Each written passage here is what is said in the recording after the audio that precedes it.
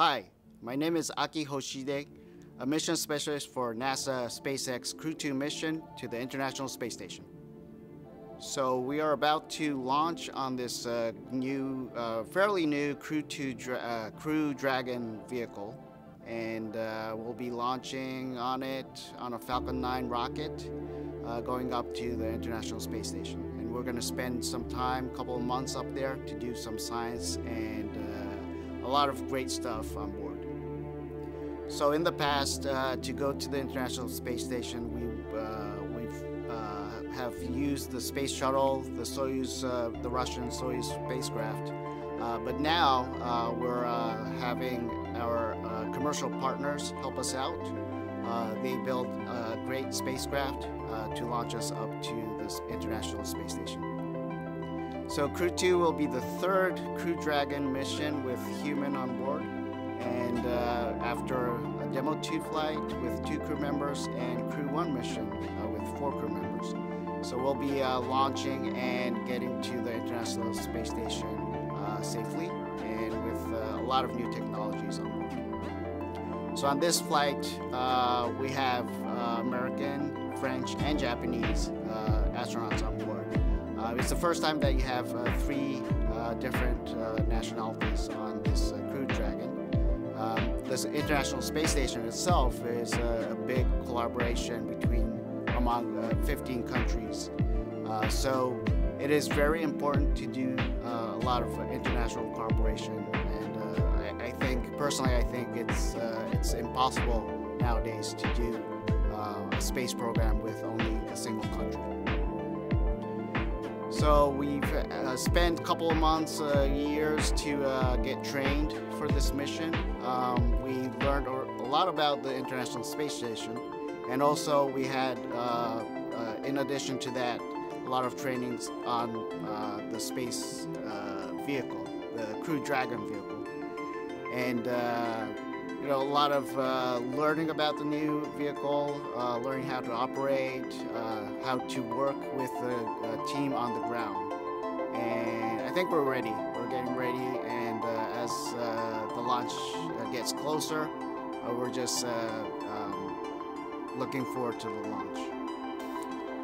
So once we're on board the International Space Station, there's a lot of things. Uh, main task is uh, doing a lot of different uh, science, um, whether it's um, uh, biology, material science, fluid mechanics, uh, even medical uh, experiment. we'll do that. And on top of that, there's a lot of repair work that we have to do. Maybe we'll have some spacewalks to repair things outside or maybe upgrade the International Space Station as well. So we learned and relearned about the uh, systems on board the International Space Station. We went through like emergency training, uh, spacewalk training, and uh, robotics training. Um, and uh, there's a lot involved, a lot of great instructors have taught us very well. Hopefully we'll make them proud. So we talk about um, long duration flight, but I think everyone is ready, and uh, we talk about sharing foods, sharing time, um, little nuances on board. Um, each of us has uh, we have different um, experience on board, so we, we can pitch in and say we did it this way in our previous mission, and we can sort it out from there. So I think thinking from my uh, previous previous flight, um, I think I know what uh, what it's like So I feel a little more comfortable, uh, less unknown, I would say, um, so that uh, I know what to expect, and uh, I have a great uh, crewmate with me, so it's going to be a lot of fun. I think um, training as a whole is challenging because there's so many different uh, um, things that you have to learn. You got to know about the science, you got to know about the systems, you got to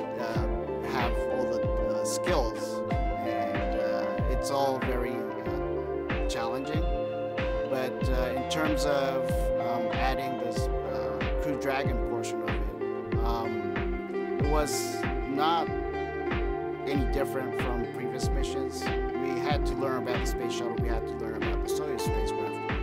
Um, now it's just a different vehicle, a newer uh, uh, vehicle. So I guess the difference would be um, for training. Um, it's a brand new vehicle.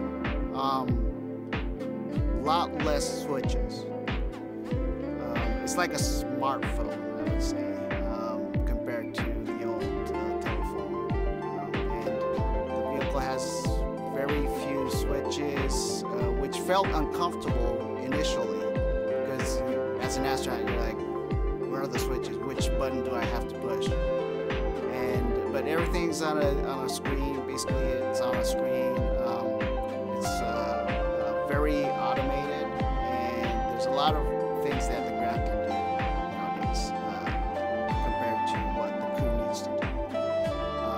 So initially, I felt a little, I would say, a little uh, awkward, but uh, then after training, um, you get adjusted and you understand, hey, this is how the system works, and uh, how can I, as a crew member, um, help out the mission.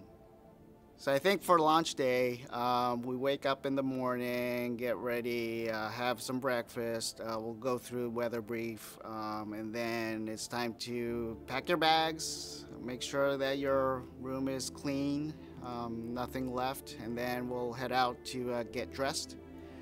And then we'll go to the launch pad in our cars, listening to some music. Hopefully, Thomas is going to provide us uh, good music and, and then we'll just sit in our capsule and wait for launch. So on my first mission on uh, STS-124 on the Space Shuttle Discovery, um, that was my first flight, so I thought I would be nervous. Um, but after getting strapped in and we had to wait for launch for about two hours, um, we were just chit-chatting inside the the, uh, the cockpit, you know, amongst uh, the seven of us. You know, my family, uh, my crewmates were already like my family, so um, it was a it was a fun time. And at you know, 10 seconds before launch, uh, Commander Mark Kelly said, "Hey, let's get serious." But uh, I think it's going to be the same for uh, this launch. Um, we're, we're already like a family, so uh, we'll get strapped in and you know chit chat while we wait for launch. So during this uh, training uh, for this uh, mission, uh, we spent time, of course, during training, but we had um, an opportunity to uh, live together while we trained in uh, Hawthorne for SpaceX training. And there were a couple of trips going there. Um, we spent some, you know, dinner time, after dinner chats, and that was really precious, I would say. And I look forward to spending more time on orbit. Um, I've been away from them for one week and I miss them already. So Shane and I were actually classmates uh, as astronaut candidates. So I've known him for quite some time.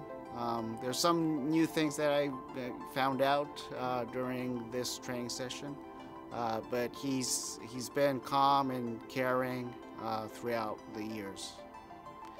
Um, Megan, um, she was my uh, Capcom mentor when I started out uh, training as a Capcom, and uh, I know how you know she's very smart, um, very uh, uh, she knows the details, and very fun to work with and, and spend time with. Um, Thomas and I went, uh, spent some time during a NEEMO mission. Can't remember which year it was, um, but uh, we were together for NEEMO 18, and um, since then, you know, we we knew that he was very talented and very funny, and we were joking around that hey, it would be fun to spend some time on board space station together, and now it's going to be true. So as mission specialists, Thomas and I will be helping out uh, Shane and Megan. They're the primary operator for the vehicle. So they'll be piloting and uh, sending commands if needed to the vehicle. Uh, Thomas and I will be helping them out during uh, launch and landing and rendezvous and docking um, when we're strapped in. When we're out of our seats, uh, we'll probably uh, help out uh, packing things, unpacking things, um, getting uh, everyone out of their uh, suits, that kind of stuff. But uh, primarily right now we're looking at, hey, how can we help as much as possible? I think it is very important framework to have commercial companies um, you know, advance into low Earth orbit. Um, as an international partner agency, JAXA has been involved with the space station program, but uh, looking forward to uh, going further, uh, Moon and Mars. Um, I think uh, with the help of the commercial entities, um, they can advance to the low Earth orbit and have, and this would open up doors uh, to the public, not just us, you know, uh, career astronauts. I think I'm trying to make it as routine as possible, should I say? And uh, you know, it's going to be uh, a little different, but it's like just going on a longer uh, business trip. And we got a lot of uh, great support on the ground, so I'm not concerned, and uh, I don't think my family is concerned as well. Yeah, probably, you know, sending emails or uh, doing conferences, yes. So yes, I'll, I'll see them at launch. They'll come out to uh, watch us launch and we'll hope to see them at the, the Cape. So I was born in Tokyo, Japan, and then uh, from age three to seven, I actually lived in New Jersey, and because of my dad's job. And then I went back to, we moved back to Japan. Um, and then in high school, I went to Singapore for two years. Uh, went to Keio University in Japan for college. Uh, got my uh, degree in mechanical engineering. And then right after college, I joined the uh, Japanese Space Agency, which at that time was called the NASDA, National Space Development Agency. And uh, I worked as an engineer for a couple of years. First two years on the launch vehicle, H2 launch vehicle and then uh, moved on to supporting astronauts in the technical aspect. Um, I have uh, dreamt of becoming an astronaut uh, since my childhood and tried a couple times uh, in uh, astronaut selection. Um, and on my third try, got selected as an astronaut candidate in 1999. So I have uh, two space flights uh, under my belt. Uh, the first mission was STS-124 in uh, 2008 on Space Shuttle Discovery. That was a mission to uh, bring up the Japanese uh, Kibo module, the biggest pressurized module, on, and assemble it onto the International Space Station. Uh, my second flight was a long duration flight. Uh, we launched on a Soyuz rocket, Soyuz capsule, docked to the space station, and spent uh, almost four months, I would say, uh, on board and did a lot of science and spacewalks and uh, grabbing vehicles and transferring items. So in between missions, I've been working as a Capcom here in Houston. Um, lot of times spending in Mission Control Center, uh, helping out Sims. Um, also worked as uh, some other technical jobs here in Houston or back in Japan uh, for the Japanese Space Agency. So during NEEMO 18, I was a commander for that mission, um, and uh, we did. Uh, it was a 10-day long mission. Uh, spent time underwater for 10 days. Uh, we had some uh, preparation before that. And uh, we did uh, some experiment inside uh, the Aquarius or and also outside. We had some spacewalk tasks um, that we did. Um, so flying on three different vehicles, that's that's going to be amazing. And you know, up until now, people's been asking us, hey, what's the difference? How do you feel different between shuttle and Soyuz uh, vehicle? Um, on top of that, we'll get uh, a, a, taste of the space uh, new spacecraft uh, Crew Dragon, and looking forward to it very much because it's it's a new technology, new layout, new operation, and I can't wait to actually experience it. So there's a couple of importance in uh, working together internationally on this uh, program, uh, especially for the space station program. We've got 15 countries working together. Um, of course, the, we each have uh, our differences, strengths and weaknesses, uh, but as a big, big team, we work together very well. Um, when we have problems, other company, uh, countries or companies can pitch in and help out. And I think that's the, uh, the key, that's the importance of this uh, uh, collaboration. And uh, looking ahead to Moon and Mars, I think we, we need to continue this uh, international cooperation because a single country just cannot do it alone. So in preparation for this mission, uh, we worked together with uh, a lot of different people, um, a lot of instructors, um, flight controllers um, at Johnson Space Center, Kennedy Space Center, at uh, SpaceX in Hawthorne, um, at JAXA, Russia, and ESA.